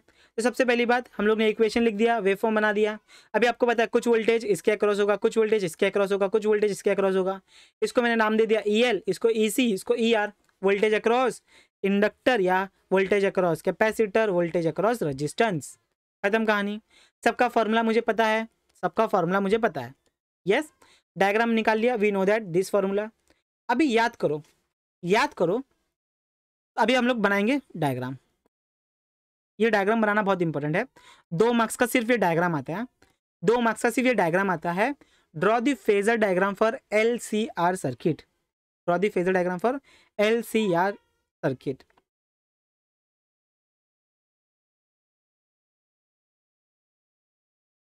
बेटा फॉर्मूला रिवाइज करने को, याद करके रिवाइज नहीं करना है। अगर वो फॉर्मूला के ऊपर अगर आप लोगों ने तीन चार न्यूमेरिकल सॉल्व कर लेते ना ऑन द स्पॉट तो वो फॉर्मूलाज आपको याद हो जाते। ठीक है? लेकिन आपने प्रॉब्लम क्या है कि वो फॉर्मूला बेस्ड उस फॉर्मूला के ऊपर आपने कुछ किया नहीं। कोई भी आपने सम सॉल्व नहीं किया, कोई भी एमसीक्यू सॉल्व नहीं किया, इसलिए आपको याद नहीं हो पाता है। अगर आप लोग तीन चार बार वो फॉर्मूला लिख लोगे या फिर उसका एप्लीकेशन कर लोगे, कुछ न्यूमेरिकल सॉल्व कर लोगे तो आपको वो रिकॉल होगा, नहीं तो रिकॉल नहीं होता, ठीक है? फिर आपको स्ट्रॉन्ग मेमोरी रखनी पड़ेगी स्ट्रॉन्ग बहुत। तो यही रिक्वेस्ट करूँगा कि जो भी आपके पास फॉर्मूलाज आते हैं ट्राई किया करो कि उस फॉर्मूला के ऊपर आप लोग सम सॉल्व कर लिया करो। यस चलो तो देखो, सबसे पहली कहानी। फेजर डायग्राम बनाना है, पहली कहानी है फेजर डायग्राम बना के दिखाता हूँ मैं। Phasor diagram is most important topic in this, ठीक है? इन दिस बोल सकते हैं ना टॉपिक में सबसे इंपॉर्टेंट टॉपिक यही है फेजर डायग्राम। फेजर डायग्राम आएगा तो आगे की कहानी होगी, नहीं तो नहीं होगी। सबसे पहले निकालते डायग्राम। सॉरी सर ठीक है? ये आपका आ गया एक्स एक्सेस वाई एक्सेस सबसे पहले निकालते हैं रजिस्टेंस रजिस्टेंस में क्या था सर करंट एंड वोल्टेज दोनों क्या थे? साथ साथ में थे। करंट एंड वोल्टेज दोनों क्या थे? साथ साथ थे। हाँ या ना? ऑल द बेस्ट बेटा। Second in case of inductor inductor में क्या था? करंट अपन ने एक ही लिया है। करंट जो वो 90 डिग्री ऊपर था। हाँ या ना? यस सर कैपेसिटर में क्या था? 90 डिग्री नीचे था। हाँ या ना? अभी इस कंडीशन में, ये जो डायग्राम बना रहे हो, इस कंडीशन में हम लोग ने पकड़ा है कि जो ई एल है it is greater than E C ये कंडीशन है। आप लोग E C greater than E L भी कर सकते हो, कोई दिक्कत वाली बात नहीं है, ठीक है? ये लास्ट में मैं बताऊँगा। अभी के लिए मान लो कि ई एल मतलब E M F across inductor ज़्यादा है compare to E M F across capacitor पहला कंडीशन पकड़ लिया। अभी क्या किया मैंने? इसको ऊपर लेके गया। इसको मैं ऊपर लेके गया। तो इसको मैं ऊपर लेके जा रहा हूँ। सबसे पहली बात, ये कम है तो ये ई सी यहाँ पर आ गया। यस अभी यहाँ से मैं क्या करूँगा? इस पूरे में से मुझे इतना निकालना है। मुझे कुछ लेंथ मिल जाएगी। ठीक है? इस पूरे ई एल में से अगर मैं इतना निकाल लूँगा, ठीक है? तो मुझे क्या बचेगा? बाकी का डिस्टेंस मिल जाएगा मुझे। तो यही आपके बुक में दिखाया गया यही मैंने यहाँ पर दिखाया देखो, क्या किया मैंने? इसको मैंने ऊपर लेके चला गया मैं। ई सी ऊपर आ गया। तो अभी मुझे क्या मिल गया? इस पूरे में से इतना डिस्टेंस क्या आ जाएगा भैया? तो इस पूरे में से इतना माइनस कर दो तो आपको बाकी का डिस्टेंस मिल जाएगा। तो ये क्या है? इतने में से इतना माइनस कर दिया। यस तो यहाँ से मैंने क्या किया? यहाँ से मैंने इसको बढ़ा दिया, इसको बढ़ा दिया और इसको मैंने ज्वाइन कर दिया। कहानी ख़त्म। ये भी उतना ही है वेक्टर ये भी इतना ही है। ये कितना है? ये ई e आर के बराबर है। क्लियर है? अभी यहाँ पर इंपॉर्टेंट चीज़ क्या है? इंपॉर्टेंट चीज़ ये है कि फेजर डायग्राम से आपको यहाँ पर क्या मिलेगी? यहाँ पर आपको ये जो वैल्यूज़ मिल रही है E R E E L minus E C इससे आपको, ये ट्राइंगल से आपको कहानी उठानी है। और ये जो एंगल होता है, ये एंगल इसी एंगल को आप लोग बोलते हो फेजर एंगल, ठीक है? ये एंगल क्या आपका? फ़ेज़ एंगल है। यस बहुत बढ़िया। यस हेलो आयुष एप्लीकेशन लिखना पड़ता है क्या डायग्राम का? नहीं। एप्लीकेशन नहीं लिखना पड़ता यस तो ये देखो डायग्राम मैंने बना के दिया। अभी अकॉर्डिंग टू डायग्राम आपके बुक में देखो डायग्राम दिया है। कहाँ गया भैया डायग्राम आपके बुक का डायग्राम बहुत ही प्यारा डायग्राम है। ये देखो सेम कहानी है। पहले वोल्टेज करंट एक ही जगह पे ले लिया अपन ने। मतलब पहले रेजिस्टेंस के केस में, फिर इंडक्टर के केस में, फिर इसको ऊपर लेके गए तो अपने को बाकी का डिस्टेंस मिल गया, ठीक है, यहाँ तक आ गया अपना। फिर इसके बाद में इसको एक्सटेंड किया तो ये मिल गया। कंडीशन यहाँ पर ये है। अभी इसी में आप लोग ये ट्राइंगल ले लो और इस ट्राइंगल में पाइथागोरस थ्योरम लगाओ। पाइथागोरस थ्योरम लगाओगे ओके स्क्वायर मतलब hypotenuse square is equals to one side square plus other side square तो एक का स्क्वायर दूसरे का स्क्वायर और ये तीसरे का साइड का स्क्वायर स्क्वायर स्क्वायर किया, स्क्वायर हटा दिया तो रूट आ गया। ये आपका बन गया मेन फॉर्मूला अभी इस मेन फार्मूला में आप लोग ई आर का वैल्यू हमें पता है ई एल का वैल्यू पता है ई नॉट ई सी का वैल्यू पता है। आप लोग सब्सटीट्यूट कर सकते हो, निकाल के कैंसिलेशन कर सकते हो। और यहाँ पर ई नॉट का वैल्यू भी आपको पता है, ठीक है? इसका नीचे आ जाएगा। अभी यहाँ पर ये जो आ गया E nought equals to I nought अभी मुझे बताओ, जब आपका नॉर्मल रेजिस्टेंस था करंट को अपोज कर रहा था इंडक्टर था करंट को अपोज कर रहा था कैपेसिटर था करंट को अपोज कर रहा था, अभी ये तीनों को साथ में लगा दिया। तो ये तीनों साथ में जो अपोजिशन दे रहे हैं, क्या बोला मैंने? ये जो तीनों साथ में अपोजिशन ऑफ़र कर रहे हैं टुवर्ड्स द करंट इसको आप लोग बोलते हो नया चीज़ इंपीडेंस इसी नई चीज़ को हम लोग क्या बोलते हैं? इंपीडेंस क्या बोला जाता है? इंपीडेंस क्लियर है? Opposition offered by L C R is called as impedance clear impedance क्या होता है? बहुत बढ़िया। इम्पिडेंस का फॉर्मूला क्या है? ओम्स लॉ आता है ना? Ohm's law I is equals to V upon R वही है। I sorry I I is equals to बोल दिया मैंने। V is equals to I R वैसे तो फॉर्मूला सही लिखा था मैंने। तो क्रॉस मल्टीप्लाई करो। इसकी जगह पे अपन ई e लिखेंगे, इसकी जगह पे अपन आई लिखेंगे, और इसकी जगह पे अपन जेड लिखेंगे। तो Z is equals to E upon I voltage upon current ही होगा। यूनिट क्या होगा? सेम है। सब कुछ सेम है। क्लियर है? तो ये फॉर्मूला याद करना है। अभी याद रखो डेरिवेशन याद रखो, कुछ भी करो। ये याद रखना है। Z is equals to under root R square plus XL minus XC square क्यों किया है? क्योंकि अपन ने माना है कि एक्सएल की वैल्यू बड़ी है कंपेयर टू एक्सी अगर मैंने यहाँ पर उल्टा किया होता कि XC is greater than XL तो ये इक्वेशन ऐसे लिखता मैं। इस इक्वेशन को ऐसे लिखता Z is equals to under root R square plus XC minus XL लिखता। क्या लिखता? एक्सी माइनस एक्सएल लिखता। तो ये क्लियर याद रखना। ये क्लियरली याद रखना। जो बड़ा है, बड़े में से छोटा वैल्यू माइनस करना है। बड़े में से छोटा वैल्यू माइनस करना है। स्क्वायर है। यस अभी कुछ केसेस दिए हैं। अगर एक्सी बड़ा होगा तो ये फॉर्मूला देखो लिख दिया ऐसे। एक्सी माइनस एक्सएल कर दो। अगर आरसी सर्किट हुआ तो आरसी मतलब इसमें इंडक्टर नहीं है। इंडक्टर नहीं है। इंडक्टर नहीं है तो ये कैंसिल ये गायब हो जाएगा। तो बचा क्या ये? अगर इसमें इसमें क्या नहीं है भैया? इसमें कैपेसिटर नहीं है। इसमें कैपेसिटर नहीं है तो ये यहाँ पर कैपेसिटर वाला पैरामीटर गायब हो गया। ये अपना ट्राइंगल है, इस ट्राइंगल को, इस ट्राइंगल को इम्पिडेंस ट्राइंगल भी बोलते हैं। क्या बोलते हैं सर? इम्पिडेंस ट्राइंगल ये इम्पिडेंस ये रजिस्टेंस और ये रिएक्टेंस इम्पिडेंस रजिस्टेंस रिएक्टेंस अभी अपने को ये एंगल ढूंढना है। ये एंगल कभी कभी पूछ लेते हैं कि एंगल फाइव फाइंड करो तो ये अपने पास फॉर्मूला है। टेन फाइव इक्वल्स टू अपने को पता है अपोजिट अपॉन हाइपोड एडजेसेंट तो अपोजिट एडजेसेंट इन दोनों का रेशियो ले लिया। खत्म। और सिर्फ़ फाइव करना है तो टेन इनवर्स तो ये आपको फॉर्मूला याद करना है। ठीक है? यस यस ठीक है। चलेगा। पाँच मिनट में ट्राई करूँगा। ओके? तो हमें क्या क्या मिल गया? सबसे पहला formula Z is equals to under root R square plus XL minus X C in case of in case of XL is greater than X C second formula Z is equals to E upon I E upon I third formula phi is equals to tan inverse हमेशा याद रखना Excel वाला ऊपर रहेगा। Excel मतलब x वाला parameter ऊपर रहेगा, नीचे रहेगा आर ऊपर रहेगा इन रिएक्टेंस नीचे रहेगा रेजिस्टेंस ओके बहुत बढ़िया। ये फॉर्मूला हो गया। सारा फॉर्मूला हो गया। ओम्स लॉ यूज़ ये करना है। जो आप लोग डायग्राम निकालोगे फेजर डायग्राम उस फेजर डायग्राम में ट्राइंगल में अपन अप्लाई करेंगे पाइथागोरस थ्योरम, उसको सिर्फ़ पुट करते जाएँगे, वैल्यू सब्सटीट्यूट करेंगे, कैंसलेशन करेंगे, अपना इंपिडेंस का फॉर्मूला निकालेंगे। इंपिडेंस का फॉर्मूला आ गया फिर उसके बाद में ट्राइंगल यूज़ करके अपन एंगल भी निकाल सकते हैं। फ़ेज़ एंगल जिसको हम लोग बोलते हैं, क्या बोलते हैं? फ़ेज़ एंगल, इसको हम लोग क्या बोलते हैं? Phase angle phi. क्लियर? कुछ कंडीशन है, देख लो ये। कंडीशंस ठीक है, ये तो आपको अभी आ जाना चाहिए। अभी आता है अपना नेक्स्ट टॉपिक जो कि लास्ट सेकेंड लास्ट टॉपिक है एलसी ऑसिलेशन सर्किट पाँच मिनट में समझा दूँगा पटाक करके। फिर उसके बाद में आपका बचेगा रेजोनेंस सर्किट रेजोनेंस ही ना? हम्म, देख लेते हैं। रेजोनेंस है ना? और यस रेजोनेंस है सीरीज़ रेजोनेंस पैरेलल रेजोनेंस और आपका टॉपिक खत्म। तो हार्डली ट्वेंटी मिनट्स चलेगा अभी ये लेक्चर उसके बाद में ये लेक्चर खत्म। अभी समझते हैं कि एल सी ऑसिलेशन सर्किट क्या होता है। एल सी एल सी सिर्फ़ एल और सी यूज़ करेंगे अपन। एल और सी मतलब सिर्फ़ inductor and capacitor is use और ऑसिलेशन मतलब क्या? ऑसिलेशन मतलब कि कुछ चीज़ें यहाँ से यहाँ जाएगी, यहाँ से यहाँ जाएगी, यहाँ से यहाँ जाएगी, यहाँ से यहाँ जाएगी, यहाँ से यहाँ जाएगी, यहाँ से यहाँ जाएगी, बस। ऐसे ही होगा। अभी वो समझते कि कहाँ से क्या जा रहा है। कहाँ से क्या जा रहा है। तो सबसे पहली चीज़, ये टॉपिक आपका थेरी टॉपिक है। इसमें टोटल पाँच डायग्राम है। कितने हैं? पाँच डायग्राम अगर ये टॉपिक ये अगर एक क्वेश्चन आ गया एक्सप्लेन एल्सो ऑसिलेशन सर्किट तो आपकी चांदी ही चांदी। ये पाँच डायग्राम है। पाँच डायग्राम निकालने हैं और उसका चार लाइन में एक्सप्लेनेशन देना है। तीन पेज भर जाएगा ब्यूटीफुली याद क्या रखना है सर याद क्या रखना है? दो फॉर्मूला याद रखने हैं। पहला फॉर्मूला कि इंडक्टर में और कैपेसिटर में एनर्जी कितनी स्टोर होती है। क्या बोला मैंने?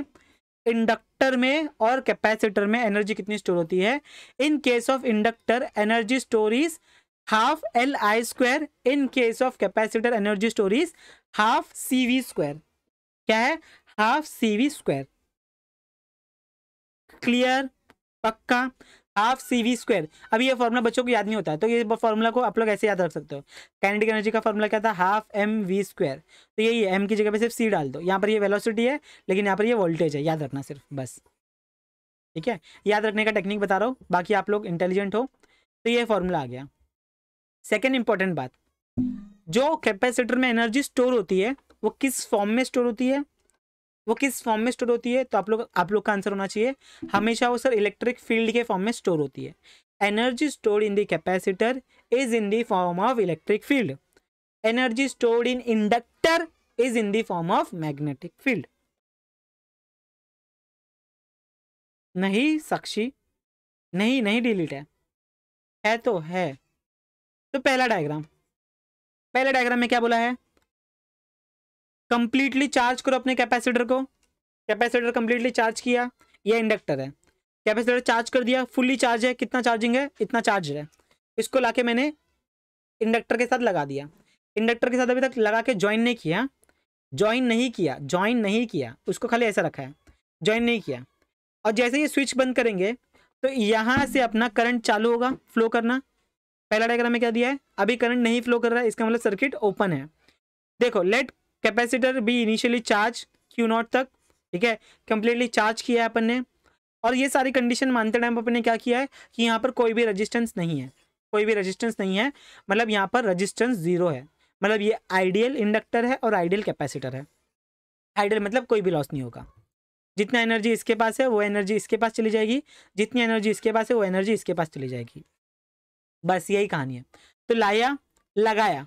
तो क्या हो गया? इस कैपेसिटर स्टार्ट डिस्चार्जिंग जैसे ही सर्किट क्लोज किया, capacitor start discharging its energy and inductor inductor start charging inductor start charging अभी इंडक्टर के पास एनर्जी कितनी आएगी? इंडक्टर के पास एनर्जी इतनी आएगी। हाफ़ एल आई स्क्वायर कितनी आएगी sir half L I square आएगी। हाँ ना बोलो? हाँ सर तो कैपेसिटर के पास ये एनर्जी लेता रहेगा लेता रहेगा लेता रहेगा। इंडक्टर के फॉर्म इंडक्टर में कौन से फॉर्म में एनर्जी स्टोर होती है? इंडक्टर में energy stored in the form of magnetic field energy stored in the form of magnetic field याद रखना। यस yes, ये कंप्लीटली डिस्चार्ज हो गया। कौन? कैपेसिटर। और अपना इंडक्टर क्या हो गया? कंप्लीटली चार्ज हो गया। ये सेकंड डायग्राम है, ये थर्ड डायग्राम है। ये देखो यहाँ पर।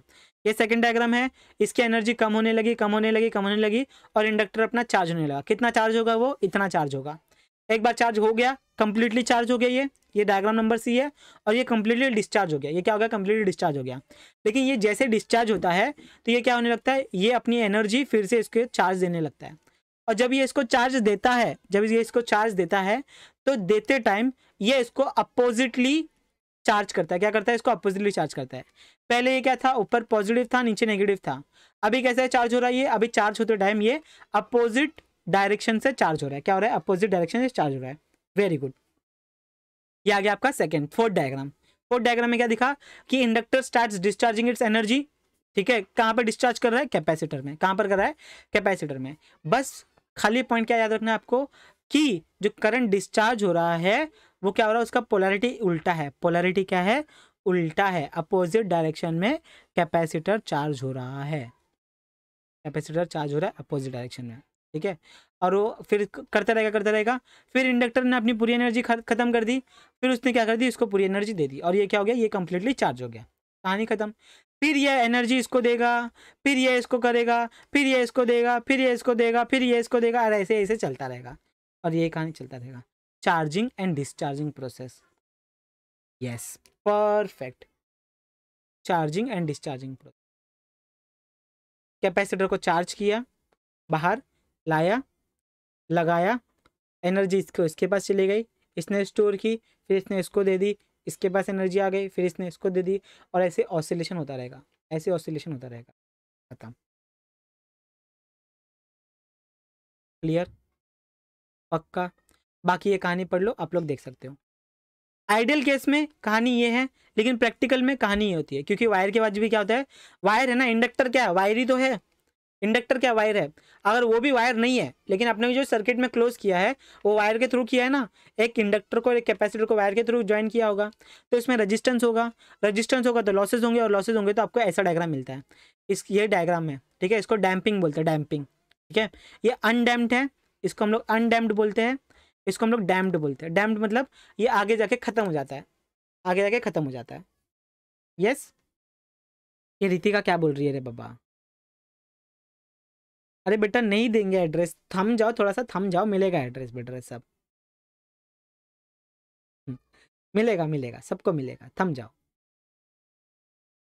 क्लियर है ये? तो इतना ही आपको लिखना है पाँच डायग्राम और कहानी उसकी खत्म। पाँच डायग्राम और उसकी कहानी।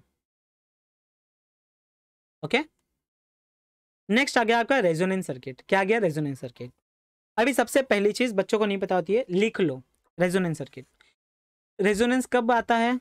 रेजोनेंस कब होता है? पहला क्वेश्चन ये आता है क्वेश्चन। रेजोनेंस जब एक्स एल बराबर एक्ससी होता है, तभी आपका रेजोनेंस अकर्स। याद कर लो, याद। Condition for resonance, condition for resonance. XL बराबर एक्सी एक्सएल बराबर एक्सी रिएक्टिव इंडक्टेंस उल्टा बोल दिया मैंने inductive reactance is equal to inductive capacitance clear है? इसी कंडीशन में रेजोनेंस होगा, नहीं तो नहीं होगा। पक्का? अभी इलेक्ट्रिक रेजोनेंस के दो टाइप हैं। एक सीरीज़ रेजोनेंस और एक पैरेलल रेजोनेंस दोनों तरीके आपको आना चाहिए, ठीक है? सीरीज़ वाला बहुत बार पूछा जाता है। दोनों से फॉर्मूला सेम मिलेगा, खाली सीरीज़ है तो सीरीज़ में कुछ चीज़ें कम ज़्यादा होती है। पैरेलल है तो पैरेलल में क्या होता है? रजिस्टेंस लॉसेस कम ज़्यादा होते हैं तो वो अपने को खाली देखने हैं, बस। कंडीशन फॉर रेजोनेंस ये याद कर लेना। एक्सएल बराबर एक्सी पहला चीज़। ये सर्किट है सीरीज़ रेजोनेंस सर्किट एल जैसा दिख रहा है? एल जैसा दिख रहा है कि नहीं दिख रहा है? हाँ सर, ये तो एल ही है। तो एलसीआर में अपन ने जेड का फॉर्मूला निकाला था।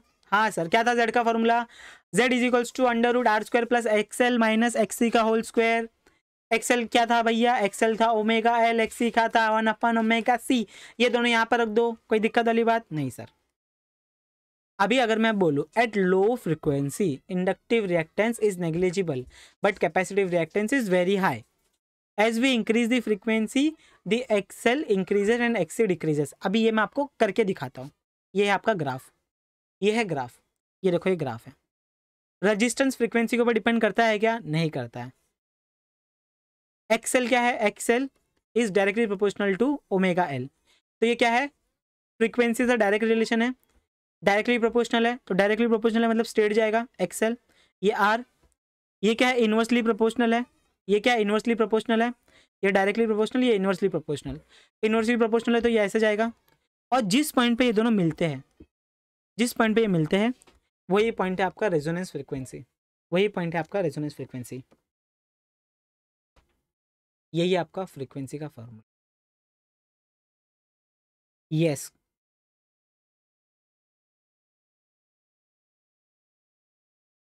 यस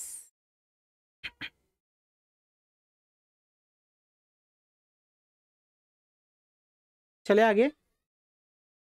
बहुत बढ़िया सर. सो so, अगर आपका यहाँ पर ले लिया ये एफ़ आर क्या है? एफ़ आर मतलब resonant frequency if since XL बराबर एक्सी रेजोनेंस हो रहा है. एक्सेल बराबर एक्सी जेड का फॉर्मूला क्या है? Under root R square XL minus X C का होल स्क्वायर। ये दोनों इक्वल हो जाएँगे तो ये ज़ीरो हो जाएगा, ये कट बचा क्या? Z is equals to under root R square ये स्क्वायर ये कट गया तो ये क्या बचा? जब एक्सेल बराबर एक्सी होता है तो इन सीरीज़ रेजोनेंस सर्किट ये एक्ट करता है as a pure resistive circuit ये कैसे एक्ट करता है? प्योर रजिस्टिव सर्किट कैसा एक्ट करता है? प्योर रजिस्टिव सर्किट कैसा एक्ट करता है? रजिस्टिव क्लियर है? एक्सेल बराबर एक्सी तो होना ही चाहिए भैया। ओके?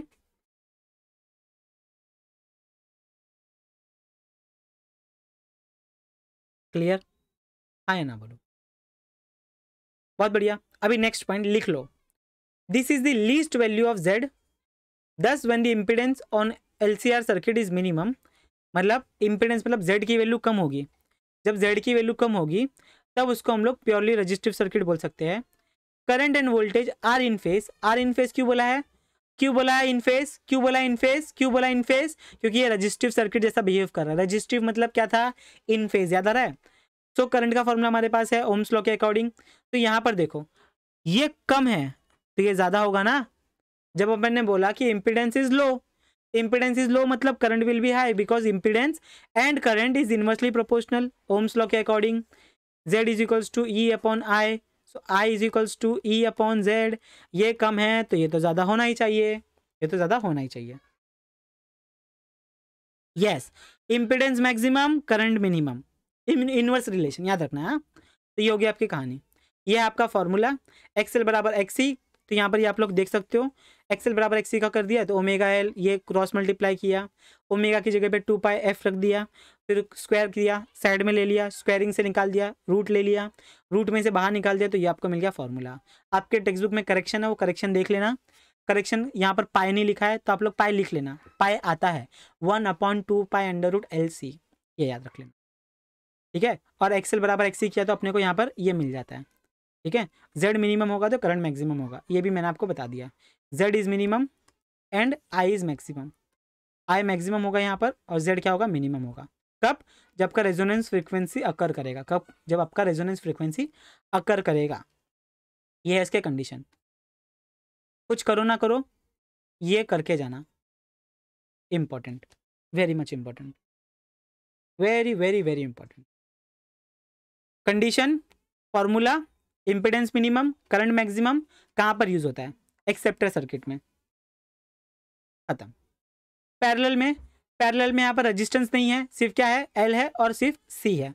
दोनों को पैरेलल में लगाया याद आ रहा है? पैरेलल में लगाया है, ठीक है? पैरेलल में लगाया तो इसका भी आप लोग डेरिवेशन कर सकते हो। देखो पैरेलल में लगाया अभी आपको पता है पैरेलल में लगाया तो करंट डिस्ट्रीब्यूट होगा। करंट डिस्ट्रीब्यूट होगा मतलब कुछ करंट सी में जाएगा, कुछ करंट एल में जाएगा। तो यहाँ पर अपने को सबका फॉर्मूला पता है। सबका फॉर्मूला पता है तो यहाँ पर आप लोग इक्वेशन में वैल्यू रख दो। ये भी अपने को पता है, ये भी अपने को पता है, ये भी अपने को पता है। यस करंट का फॉर्मूला पता है, वोल्टेज का फॉर्मूला पता है, निकाल लिया हमने। क्रॉस मल्टीप्लाई किया, क्रॉस मल्टीप्लाई करने पे हमें क्या मिला? इस सबको मैंने जेड को यहाँ पर फेंक दिया, बाकी सबको नीचे फेंक दिया। अभी क्या लिखोगे यहाँ पर? एक्सएल बराबर एक्सी जब एक्सएल बराबर एक्सी किया तो ये क्या है? One upon omega C. One upon omega C मतलब क्या? वन अपॉन एक्ससी मतलब क्या? ओमेगा सी ना? कैसे सर? ये कहाँ से फॉर्मूला आ गया सर? बताता हूँ। X C is equals to one upon omega C cross multiply कर लेना रे बाबा। समझा? वन अपॉन एक्सएल मतलब one upon omega X omega L क्या? क्योंकि डायरेक्टली प्रोपोर्शनल है ना? ये उल्टा कर दिया तो ये भी उल्टा करोगे। समझी बात? यस तो ये हो गया आपका जेड का फॉर्मूला ये हो गया आपका जेड का फॉर्मूला अभी भी ये फॉर्मूला और बना सकते हो आप लोग। एक्सएल एक्सी सब फॉर्मूला रख सकते हो। ऐसे करना है तो ऐसे भी कर सकते हो आप लोग। सिर्फ़ थोड़ा सा प्रिंटिंग मिस्टेक है तो वो आप लोग चेकआउट कर लेना बस। ठीक है? यहाँ पर ऐड कर रहे हैं, अपन ने सब किया। कुछ वोल्टेज यहाँ पर जाएगा, कुछ वोल्टेज यहाँ कुछ करंट यहाँ जाएगा, कुछ करंट यहाँ जाएगा। यस वैल्यू पुटअप किया सॉल्व किया, खत्म। अपन अपना गाउटी मेथड यूज़ कर सकते हैं, या फिर आप लोग इसका मेथड यूज़ कर सकते हैं। अभी इसमें देखो, ये था इक्वेशन अभी इस इक्वेशन को इज़ इक्वल्स टू ज़ीरो कर दिया तो omega C minus omega L is equals to zero फिर वही कहानी इसको यहाँ पर भेज दोगे तो पॉजिटिव हो जाएगा। क्रॉस मल्टीप्लाई करोगे फॉर्मूला सेम मिलता है। Formula remain same formula remains same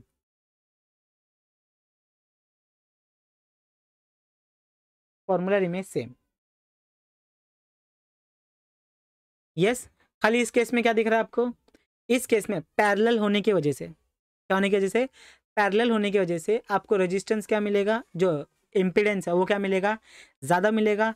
ज़्यादा इम्पिडेंस है मतलब करंट क्या होगा? कम होगा। करंट क्या होगा? कम होगा। और वही आपको यहाँ पर लिख के दिया है। ये है आपके पाँच पॉइंट वेरी इंपॉर्टेंट सेम पहला point resonance circuit second frequency third impedance क्या है? मैक्सिमम है। करंट क्या होगा? मिनिमम होगा। कहाँ पर यूज़ होता है? Rejector circuit okay, sir title में H S C twelfth H S C board लिखो, ज़्यादा व्यूज़ आएँगे। नहीं बेटा व्यूज़ के लिए नहीं कर रहे, जो पढ़ने वाले हैं, पढ़ रहे हैं, ठीक है? भी क्या ही करे? छोड़ जाने दो। ओके? तो यहाँ पर होता है अपना ये चैप्टर समाप्त, ठीक है? बहुत जल्दी खत्म हो गया। अभी मैं पाँच मिनट दे रहा हूँ, ठीक है? वीडियो अच्छी लगेगी तो लाइक कर देना, अपने फ्रेंड्स के साथ शेयर कर देना, और चैनल पर नहीं हो तो सब्सक्राइब कर देना। नहीं किया है तो। यस चलो, पाँच मिनट देता हूँ मैं। आ जाओ, बातचीत कर लेते थोड़ा सा। हो गया चैप्टर जिनको जाना है वो जा सकते हैं। जिनको कुछ पूछना है तो पूछ सकते हैं। नोटिफिकेशन आती है ना? यस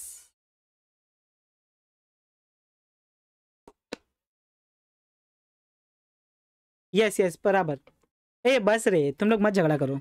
तो रौनक बराबर बोल रहा है, वो अल्गोरिदम है। यूट्यूब का अल्गोरिदम है। कैसे वर्ड्स डालेंगे तो वो ज़्यादा लोगों तक पहुँचेगा। ज़्यादा लोगों तक पहुँचेगा तो ज़्यादा लोग क्लिक करेंगे। ज़्यादा लोग क्लिक करेंगे तो ज़्यादा यूज़ आएँगे। ओके चलो। जिनको क्वेश्चन है, वो क्वेश्चन पूछ सकते हैं। जिनको नहीं है, वो जा सकता है। सर, मेरे को सिर्फ़ फिजिक्स बहुत हार्ड जा जा रहा है। क्या करूँ? प्लीज़ बताओ सर अगर फिजिक्स का कुछ नहीं पढ़ा है तो पढ़ना चालू कर दो। इजी इजी चैप्टर्स पहले स्टार्ट कर दो।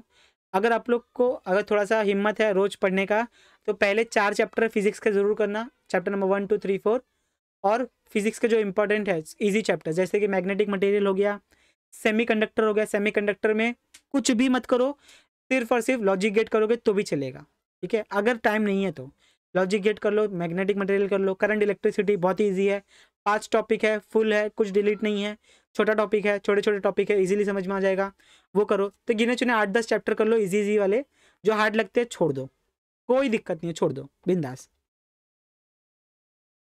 एक दो साल एक एक साल छोड़ के, एक साल छोड़ के पूछा गया L C oscillation circuit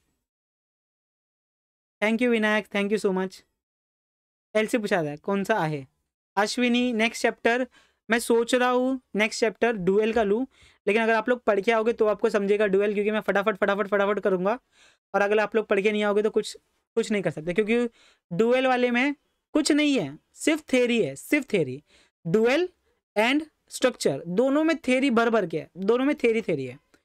और सेमीकंडक्टर में भी पूरी थेरी है। अब ये तीन चैप्टर थेरी वाले हैं।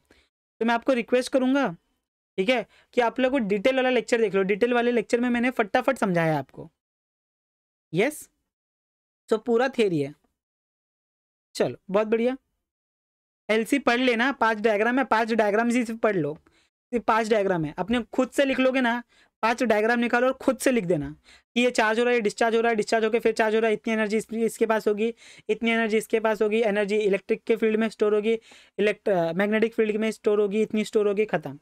बस। Thank you Deepak.